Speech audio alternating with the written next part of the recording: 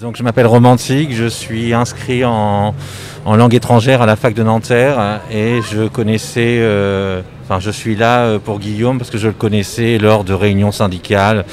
Voilà, je n'étais pas spécialement un proche, mais je le connaissais comme ça, euh, voilà, en le croisant au sein de la fac. Parce qu'en fait, ce qu'il a dénoncé, en fait, moi j'ai pas su le faire à son âge et voilà, je pour moi, je considère qu'il a une très grande hauteur par rapport à moi, en fait. Bah, je pense que, enfin voilà, c'est très important, voilà, et que je pense que malheureusement, ce genre de mobilisation vont continuer parce que on est quand même suffisamment nombreux. Je veux dire, ça se passe au niveau national.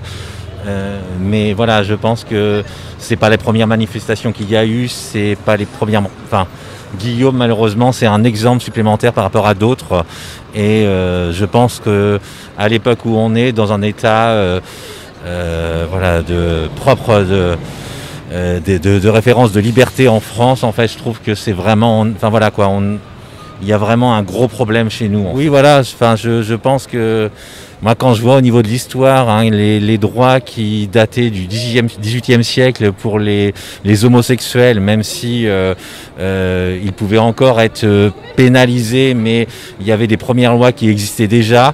Et je pense qu'on a été des, voilà, le symbole international à ce niveau-là, au niveau de voilà, le les reconnaissances des, droits des homosexuels. Et aujourd'hui, en 2021, en fait, on, se retrouve dans des situations comme ça. Moi, je trouve ça lamentable, en fait. Je pense que, Guillaume a fait réagir beaucoup de, gens sur les réseaux sociaux, euh, que ce soit sur MeTooGay, sur Twitter, sur, euh, voilà, quoi, sur différents domaines. Et euh, voilà, je sincèrement en fait je lui rends un très grand, grand hommage par rapport à ça parce que je pense que lui aujourd'hui, de par son, son acte dramatique malheureusement, euh, on a l'impression que les choses vont peut-être bouger aujourd'hui en fait. On va peut-être être entendu. Je pense qu'il y, y a, juste une problématique, il faut quand même se méfier ce qui se, tout ce qui se dit sur les réseaux sociaux. Je pense que c'est porte ouverte à beaucoup de, de propos, de, voire même des fois de diffamation. Euh, on a la chance malgré tout en fait d'avoir une justice en France, même si elle n'est pas appliquée à mes yeux suffisamment. Et euh, je pense que la combinaison des réseaux sociaux et notre justice en fait devrait travailler main dans la main en fait. Et ça n'est pas le cas actuellement. Et euh, quand on lit tout ce que l'on voit sur les réseaux sociaux, j'ai vu des propos en fait de personnes qui se permettaient de dire que voilà que ce que Guillaume a, à exprimer, c'était simplement dans un but politique. Enfin, voilà, pour vous dire qu'on va sur des choses enfin, qui sont euh, insensées. Et euh, voilà, je pense qu'il faut faire la part des choses. Mais euh, voilà, puis moi j'ai enfin, j'ai quand même tendance à, à, ne pas discréditer en fait une victime qui déclare en fait euh, un fait et qu'il a déclaré. Je vous l'accorde sur ça, mais là au niveau de la thématique euh, par rapport à Guillaume et euh, enfin lui ou d'autres, je pense que voilà ça a quand même fait réagir. Donc après c'est pas forcément le seul domaine dans lequel ça peut poser problème au niveau des réseaux sociaux, mais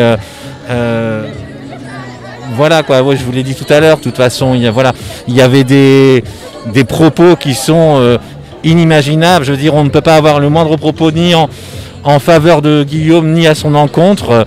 On doit juste être partial et euh, tant que la justice n'a pas fait non plus le nécessaire et qu'elle voilà parce qu'actuellement elle ne bouge pas pour Guillaume, euh, il faut rester humble, mais ce qui n'empêche pas quand même d'appuyer en fait Guillaume parce qu'on ne peut pas faire un acte comme il a fait, voilà, pour une simple raison même de précarité.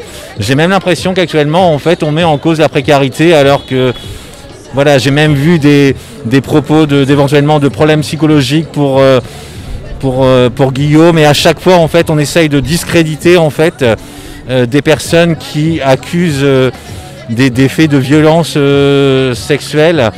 Et on va chercher un problème qui n'est pas forcément l'origine qui n'en a pas l'origine et simplement pour discréditer encore des hommes politiques. Bah, je pense que c'est tout nouveau. Moi, je, n'ai pas eu la chance de connaître ça, mais euh, voilà, c'est quand même beaucoup plus les associations LGBT plus plus qui euh, comment euh, sont là pour apporter le soutien à toutes ces personnes. Mais au niveau de l'État, voilà, je pense que ça reste encore très soft. on reste sur des des, schémas pour aider par exemple dans les centres familiaux les jeunes filles par rapport à la contraception, des choses comme ça. On reste sur des schémas très classiques et tout ce qui touche au LGBT, en fait, ça reste quand même un grand écart par l'État. Non, je, voilà, j'espère que cette manifestation se passera bien et que euh, elle se fera à l'identique d'une marche blanche euh, euh, qu'on a essayé de faire sur Nanterre, mais qui n'a pas pu se dérouler jusqu'à son terme. Voilà, simplement par rapport de la crise sanitaire, mais je trouve que c'est un faux prétexte. C'est encore une fois une manière en fait d'empêcher les gens de s'exprimer euh, voilà quoi. Et moi, ça me met hors de moi de voir qu'on s'en est pris à des manifestations de Nanterre en fait au sein de l'université pour une marche blanche, alors que les problèmes de la crise sanitaire euh, ne pouvaient pas être relevés à ce moment-là. Il y avait d'autres clusters. Euh, comme ce qui s'est passé en Bretagne en fait avec les rêves partis où là on n'a pas su faire partir je ne sais pas combien de personnes en fait je crois que c'est 6000 euh, dans une rêve en Bretagne. Et par contre, on sait, euh, on, sait comment euh, bah, s'en prendre simplement à des manifestations qui dénoncent des, faits comme on l'a fait à Nanterre. Et tout ce que j'espère, c'est qu'on puisse le refaire. Force de l'ordre, voilà, par rapport au couvre-feu, tout simplement. Enfin, c'est leur mot. Oui, bah, il y en a beaucoup qui ont eu des amendes. Là, on a mis en place, enfin pas moi, mais l'université a fait des appels de soutien à des dons, voilà, pour que les personnes euh, puissent honorer en fait ces amendes sans que ça vienne de leur poche. Euh, moi, je n'attends que cette euh, offre de dons soit ouverte sur la ligne d'internet de Nanterre pour pouvoir faire des premiers dons parce que ça me fait mal au cœur pour ces jeunes en fait qui n'ont déjà pas beaucoup d'argent. Et en plus voilà quoi pour une marche au flambeau comme vous le disiez voilà quoi. C'était quelque chose de tout à fait sain voilà. C'était un hommage de tout ce qu'il y a de loyal. Et je ne vois pas pourquoi l'État intervient dans ce genre de situation.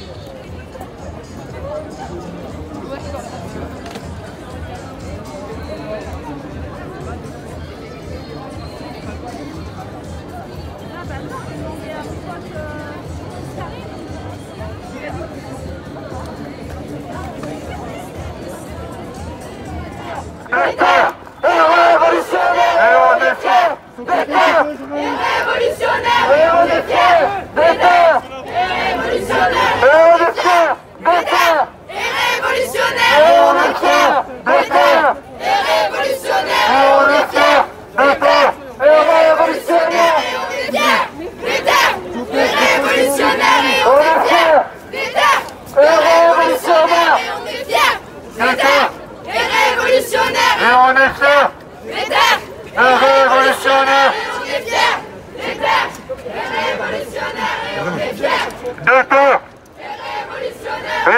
agresseurs, déteurs,